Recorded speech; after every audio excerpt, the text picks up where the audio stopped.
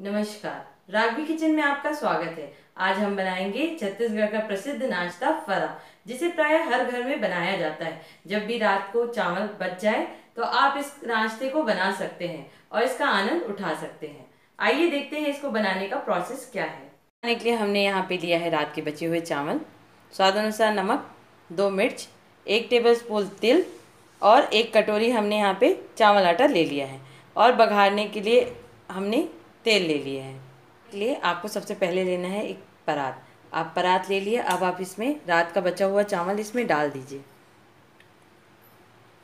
रात का बचा हुआ चावल आप इसमें पूरी तरीके से डाल दीजिए। आपको इसमें डालना है चावल आटा और इसको अच्छे से मिक्स कर लीजिए। आप इसको अच्छे से मिक्स कर लीजिए। अब हम इसमें डालेंगे स्वाद अनुसार नमक। ये हम नमक डाल दिए। इसे अच्छे से मिक्स कर लीजिए, फिर हम इसमें पानी डालेंगे। आटा गूंदने के लिए हम लेंगे हल्का सा पानी। आपको पानी कम ही देना है। जब आपको लगे कि आटा अच्छे से मिक्स नहीं हो रहा है, तब आप थोड़ा थोड़ा पानी लेके इसे मिक्स करते रहें। तो देखिए, इसको ऐसे मिक्स कर दीजिए। ऐसे लपेट के मिक्स कर दीजिए। देखिए, इसे ऐसे सानते रहिए। जब आपको लगे कि पानी कम है, तब आप इसमें हल्का सा पानी डाल के इसे सानते रहें। देखिए, हमने आटा लगा लिया है। आटा आपको इस तरह कड़ा कड़ा लगाना है। अब फरा बनाने के लिए आपको अपने दोनों हाथों में ऐसे तेल लगा लीजिए। अब क्या करिए, छोटी सी ऐसी लोई लीजिए और इसे ऐसे भर लीजिए। भर लीजिए। आपको ऐसे पतला पतला फरा भरना है। देखिए, ऐसे आप बढ़ते जाइए और पूरे आटे का आपको ऐसे फरा भर देना है। हाँ हमने अपना फरा भर लिया है। अब हम इसे बघारेंगे। आइए, बताते हैं आपको इसे कैसे बघार लगाते हैं। देखिए, यहाँ बढ़ा दी है और इसे हमने मीडियम फ्लेम में रखा है। अब हम तो इसमें थोड़ा सा और तेल डालेंगे। तेल था इसमें पहले भी। अब हम इसमें थोड़ा सा और तेल डालेंगे।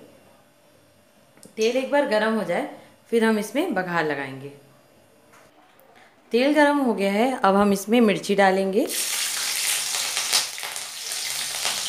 मिर्ची जब ऐसा फूट जाए तो हम इसमें तिल डालेंगे।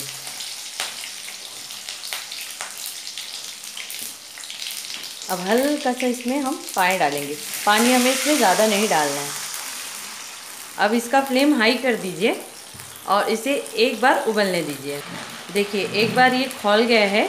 अब ये खोल गया है, तब हम इसमें अपना फरा डालेंगे।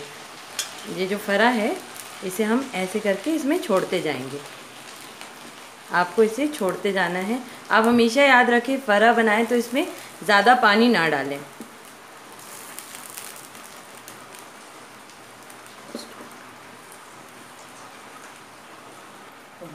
हमने फरा डाल दिया है। अब हम इसे ढक के रख देंगे। पंद्रह से बीस मिनट तक इसको ऐसे ही रखना है हमें, जब तक पानी सूख ना जाए।